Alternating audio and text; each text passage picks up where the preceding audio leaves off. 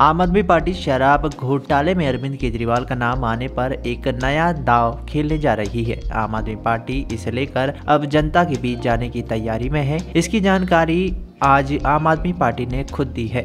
दरअसल आपने जानकारी दी कि शराब घोटाले में सीएम अरविंद केजरीवाल की गिरफ्तारी होती है तो उन्हें इस्तीफा देना चाहिए या नहीं, इसे लेकर party door to door campaign चलाएगी। ये कैंपेन शुक्रवार यानी कि एक दिसंबर से शुरू होगी। इसमें पार्टी के कार्यकर्ता ज़मीन पर जाकर जनता की राय जानेंगे।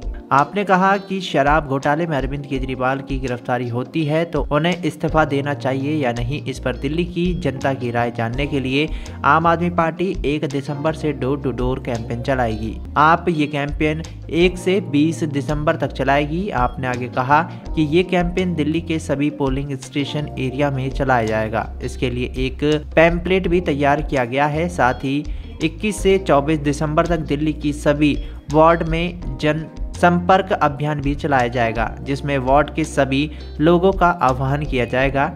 इस सभा में आपके सभी विधायक और पार्षद भी भाग लेंगे। यहाँ भी इस्तीफे को लेकर जनता से राय ली जाएगी। जानकारी दे दे कि इससे पहले पार्टी ने अपने विधायकों, पार्षदों और कार्यकर्ताओं से इस बारे में राय ली थी, जिसमें सभी ने एक सुर में कहा था कि अरविंद केजरीवाल को इस्तीफा नहीं देना चाहिए। अगर गिरफ्तारी होती है तो जेल से ही सरकार चलानी चाहिए।